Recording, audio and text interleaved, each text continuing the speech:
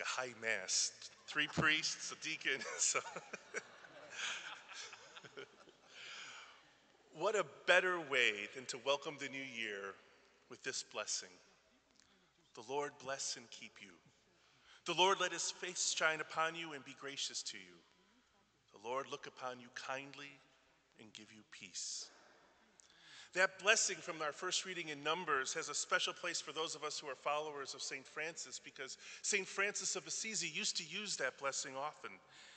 And since it's from the Hebrew scripture, the Blessed Virgin Mary herself probably heard it pronounced over her and her people. The summary phrase of that blessing is, The Lord give you peace. However, Mary would have heard it with the Hebrew word for peace, shalom.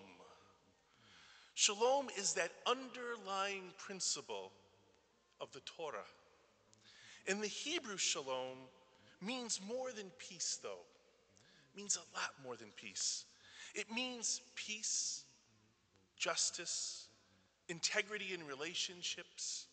And it is this understanding of a universal flourishing, wholeness, and a sense of delight. And in the Jewish tradition, it also implies safety and growth in wholeness, as if the entire universe was woven together and functioning as God intended. The blessing of shalom prays that humanity and the entire universe may live in communion that God created us to enjoy.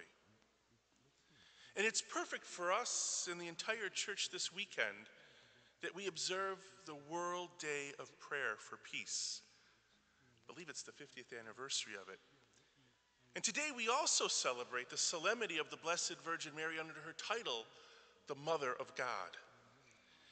And the church celebrates the woman whose trusting faith in God allowed her to give birth to the Prince of Peace. When you think about what Mary did, you could say that Mary's response displayed shalom. When the shepherds found her in the manger, she had a new baby, a confused but faithful husband, and she was trying to do the best she could in spite of the horrible circumstances in which they found themselves. And in the midst of this, she learned to remain open to God's shalom, to allow her faith to exceed her uncertainties, to allow her hope to give her resolve beyond her power to imagine. Mary's openness and willingness to trust in the God in whom she fully believed allowed her to be an instrument of God's will, to be an instrument of peace, shalom, that gave birth to Christ.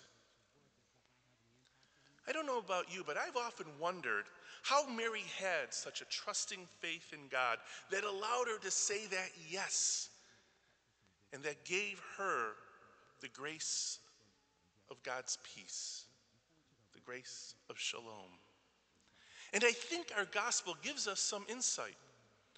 When the shepherds see this child, they begin to tell Mary and Joseph what the angel had said to them earlier in the fields. And Mary's response, if you heard the gospel, is an inner one. Mary kept all these things. Some translations say she treasured them or reflected on them, pondered them in her heart. And she quietly takes it all in to keep and ponder what it's all about. Today we celebrate this woman, this mother of God, and she's presented to us as the one who began her unique role in this life, pondering what just has happened, pondering the meaning not only of what this infant life in her arms is all about, but also her own life. And that pondering, that reflecting, led her to lovingly choose that most holy yes. By tradition, New Year's Day is a day to ponder. It's a day when we look back at the year past, and once again, we make those New Year's resolutions. And as we enter into this new year, Mary is set before you and me, pondering the meaning of her child. And we're invited to do the same. What does Jesus Christ mean for you and for me in our lives?